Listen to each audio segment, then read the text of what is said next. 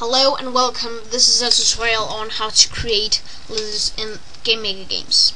First you go to the sprite, you have your letter sprite and your block and player sprite. Then you go to the player, go into step and type in some codes. The codes will be in this description box and I already did them so you don't have to wait on me. So that's simply what you're going to put in. I will tell you later what the different code will do so you understand it. So it's easy to use it another time. And I will do that in another video. So that's that was quite fast. So yeah, so then then I yes. That then you then we want to play we want to play the game. Sorry my English is so bad. Sorry. Um that has has to wait. I oh not that long. You can walk you can jump and walk and walk go up the ladder. And you can when you're releasing the up key you will just stay on the ladder and go down.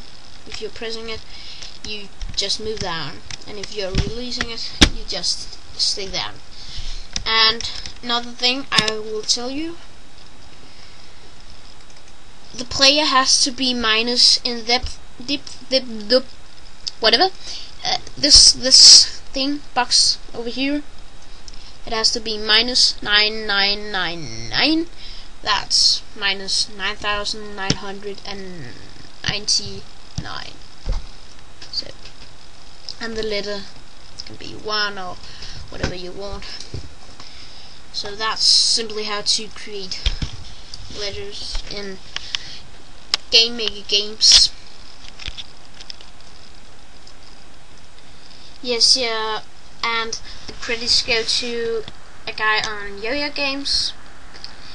He's called Rosco22. He got a very, very good platformed example, and it got so so many futures. I think all the futures that a platform game would have.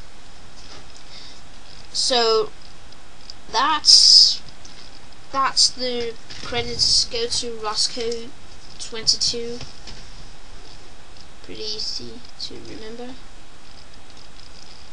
And that's all folks. I have not more to tell you about the letter.